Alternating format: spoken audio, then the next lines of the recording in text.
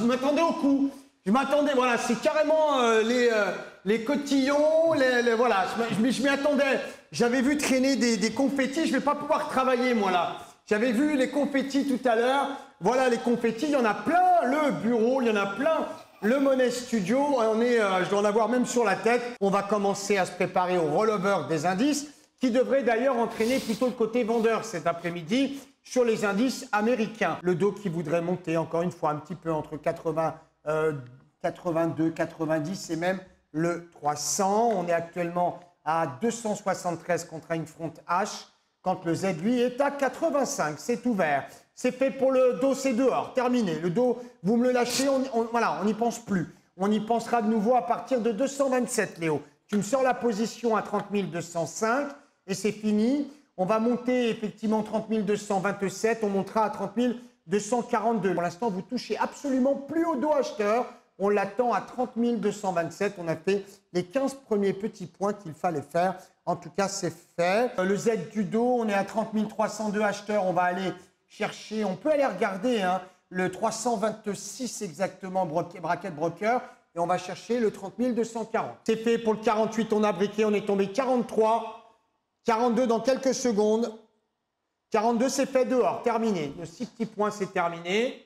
Le dos a besoin d'aller encore euh, exactement 30 points au-dessus de là où il se trouve. Bon, bah écoute, tant mieux pour lui. hein, il va aller au-dessus. Il va aller chercher le high level. Pour moi, on est à 8,5 sur 10 de descente. 8,5. Run gap côté vendeur. On va passer à 9 dans quelques secondes. Si je break mon premier alpha, c'est 9 direct. La descente, elle est là. Ça fait 3 jours qu'elle est là, cette descente. 3 jours. Et quand elle va plier, elle va plier. Et là, vous allez pouvoir vendre à découvert. Voilà, on va le breaker. On va arriver à 9 dans quelques secondes. 9 dans quelques secondes. 9 chances sur 10 que ça descende dans quelques secondes. Écoutez bien, ça va breaker mon alpha. Je vous parle du Nasdaq en premier lieu. Le Nasdaq qui pourrait s'envoler côté vendeur. Le Dow Jones, c'est de l'épaule tête-épaule inversée, c'est troublant. Le Nasdaq, c'est de la quasi-certitude dans tous les sens. Alors, on attend bien sûr qu'il break les gros niveaux, mais on a de la quasi-certitude absolument partout, faut pas déconner.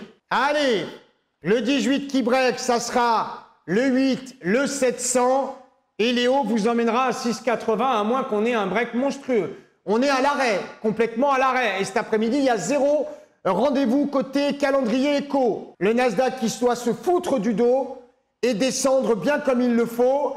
Allez, 18, 8 et 700. La respiration est chiante. Le 18 dans quelques instants, le 17, le 16, le 15 et le 8. On reste les yeux rivés côté euh, sud. Si ça monte, on est prudent parce que jusqu'à 12 780, ça va être dur. Merci à vous. À très bientôt. Take care. Tchuss. Enjoy. Ciao. Bye bye.